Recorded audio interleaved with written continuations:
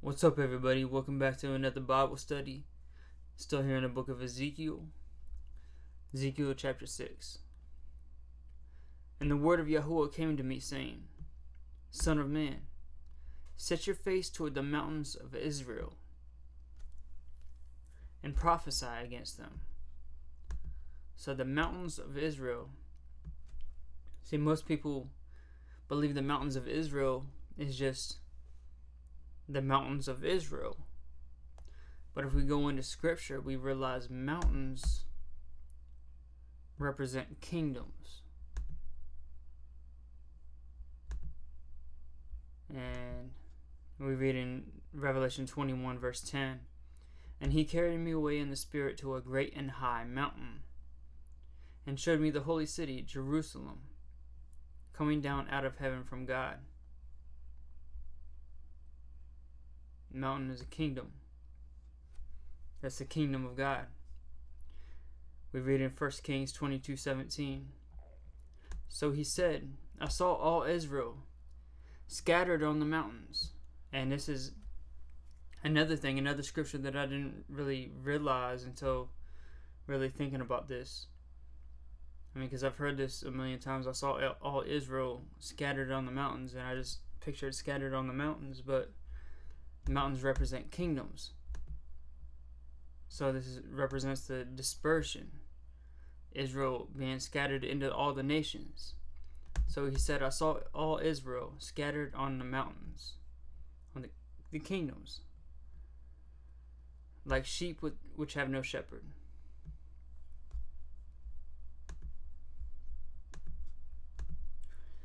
And the word of the Lord came to me, saying, The word of Yahuwah came to me, saying, Son of man, set your face toward the mountains of Israel. So the mountains of Israel, that's it. That's the kingdoms of Israel.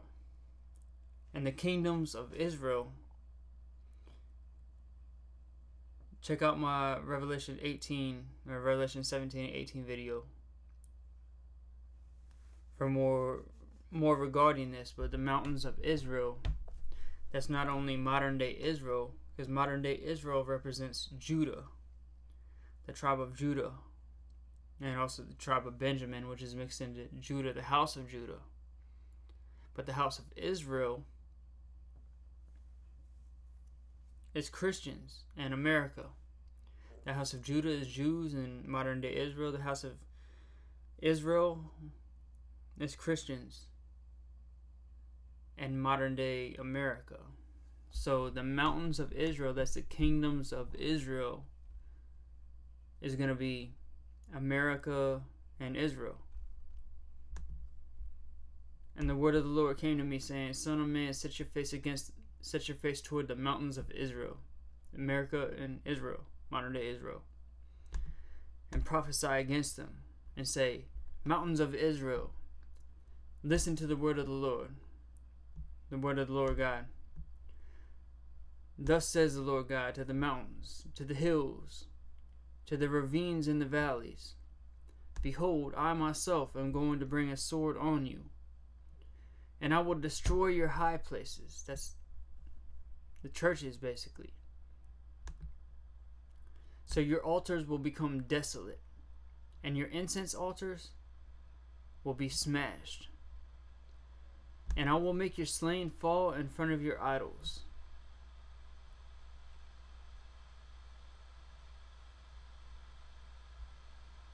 I will also lay the dead bodies of the sons of Israel in front of their idols, and I will scatter your bones around your altars, and churches. And all your dwellings, cities will become waste, and the high places will be desolate, that your altars may become waste and desolate. Your idols may be broken, brought to an end. Your incense altars may be cut down and your works may be blotted out. The slain will fall among you, and you will know that I am Yahuwah. You will know that I am the Lord. And we also read about the judgment on America and Israel in Micah chapter 1. The word of the Lord which came to Micah of Moresheth in the days of Jotham, Ahaz, and Hezekiah, kings of Judah, which he saw concerning Samaria and Jerusalem. Samaria, that's DC, representing the United States, and Jerusalem, representing modern day Israel. Hear, O peoples, all of you. Listen, O earth, and all it contains. And let yet let the Lord God be a witness against you. The Lord from his holy temple. For behold, Yahuwah is coming forth from his place. He will come down and tread on the high places of the earth. The mountains will melt under him. The valleys will be split like wax before the fire, like water poured down a steep place.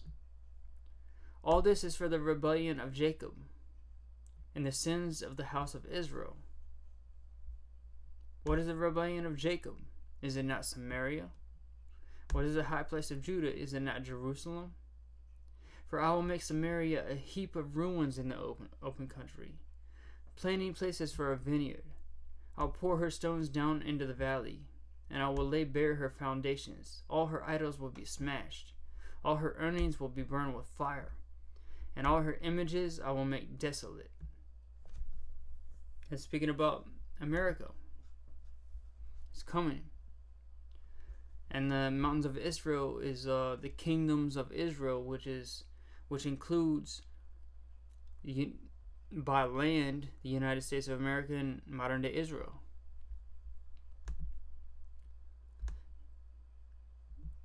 And that's why that's why all these other nations want to destroy America and Israel because America and Israel is so tied. And we see that in scripture. I will also lay the dead bodies of the sons of Israel in front of their idols. And I will scatter your bones around your altars. And all your dwellings, cities will become waste, and the high places will be desolate. That your altars may become waste and desolate. And this is happening right now. The altars being desolate. The altars representing the churches being desolate. Because nobody's there people aren't gathering in person. And there's another scripture referencing that as well. That your altars may become waste and desolate. Your idols idols may be broken and brought to an end. Your incense altars may be cut down and your works may be blotted out. The slain will fall among you, and you will know that I am Yahuwah. However, I will leave a remnant for you, or for you will not have for you will have those who escape the sword among the nations where I scattered you among the nation, among the countries.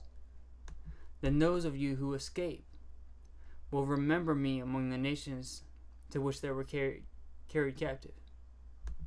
How I have been hurt by their by their adulterous hearts which turned away from me, and their eyes which played the harlot after their idols. Let me just repeat this because people don't pay attention to this. And people don't realize that we're affecting God. We're affecting God through the things we do. It says, How I have been hurt by their adulterous hearts which turned away from which turned away from me. God was hurt. And by their eyes which played the harlot after their idols. See, God sees everything. And whenever we do something against Him, He sees it and it hurts Him. Because He loves us. And they will loathe, loathe themselves in their own sight for the evils they have committed, for all their abominations. Then they will know that I am Yahuwah. Now I have not said in vain that I would inflict this disaster upon them.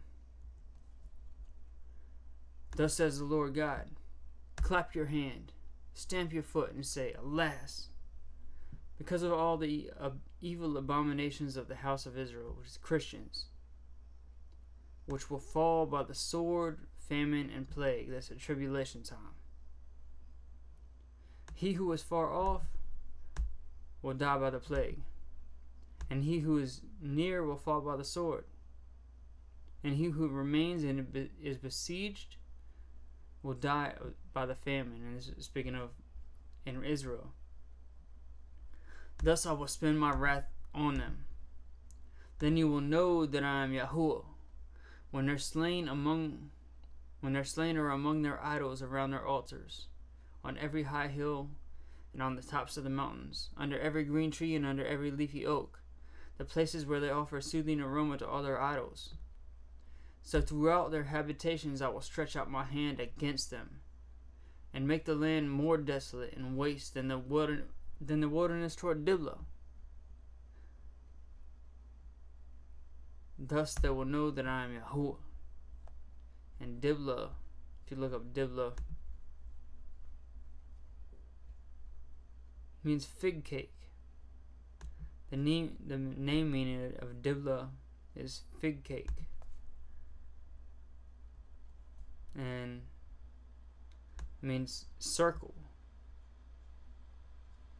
Circle and fig cake. So it says, uh, I will stretch out my hand against them and make sure and make the land more desolate and waste than the wilderness toward Diblah.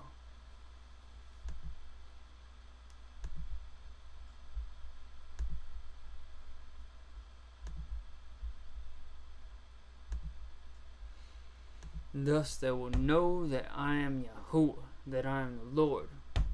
Hallelujah. That's the end of Ezekiel 6.